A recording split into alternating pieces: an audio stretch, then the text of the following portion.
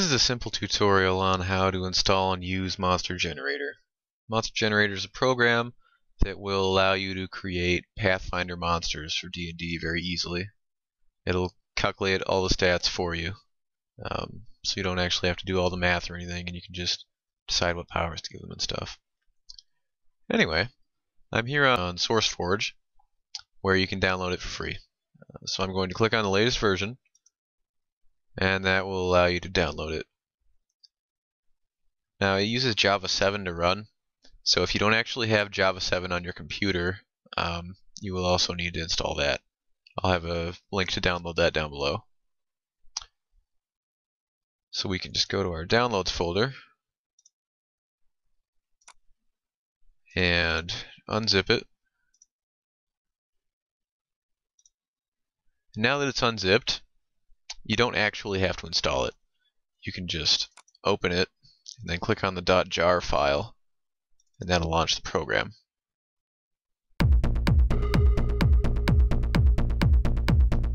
Once you've opened the program, it'll display the first menu.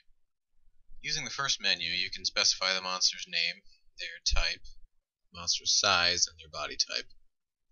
You can also specify any subtypes the monster should have, and set their alignment. After that, you want to go over and set their intended challenge rating, and then how many hit dice they should have. So we'll start out by giving our monster a name. Then we're going to set his type. Set this one to Magical Beast. Once you set their type, it'll automatically set their body type. You can see that it made him a quadruped. You can change it to whatever you want afterwards, so we'll actually make him a serpentine body type. Then we're going to set his size. Make him size large. Let's give him the elemental subtype as well. Set him to lawful neutral. I'm going to put him as challenge rating 10 and click on recommended hit dice.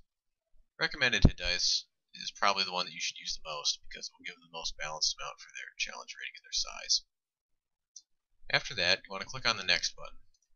Once you click on that, it'll enable the second menu.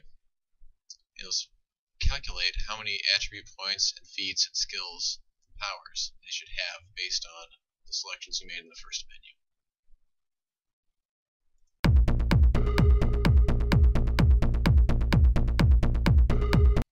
Let's spend the attribute points for our monster. You can add attributes by clicking on the plus 2 button next to each attribute.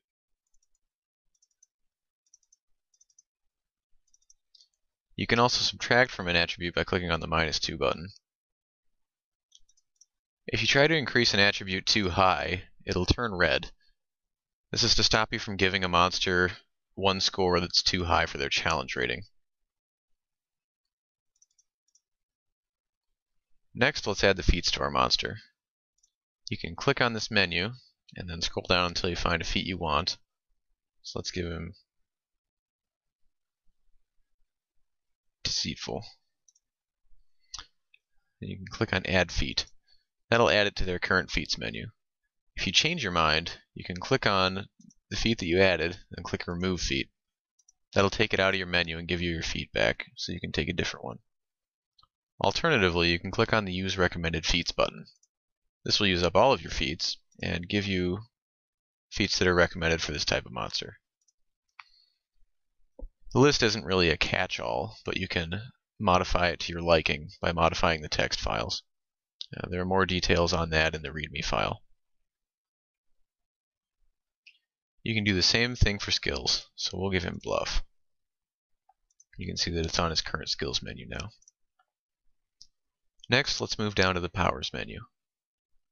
You can see that they already have powers because he got powers from his type and his subtype. The elemental subtype gave him bleed immunity and paralysis immunity and all these other things. That's what also spent some of his points to start with. But you can spend the remaining seven. So under special attacks, we'll scroll down until we find breath weapon, and then we'll give him that. Under defenses, let's give him damage reduction 10 over bludgeoning. Now, it only says 5 over bludgeoning, but it can stack when you add it multiple times. So it's on the menu twice down here, and on the monster's printout it will display as damage reduction 10 over bludgeoning. For his last three power points, we can go down here and click on Add Attack. This will allow you to ha have another attack that you can specify for the monster. When you click on the Choose Attack button, you can specify what attack you want the monster to have there. If you want a monster to have a normal attack with a weapon, you should specify it as their first attack, the one in the upper left. So we'll give him a longsword.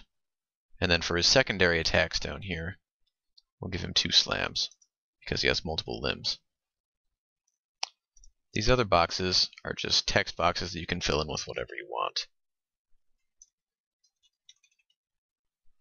Once you're finished filling in their information, you can click on the Print Monster Stats button down in the lower right.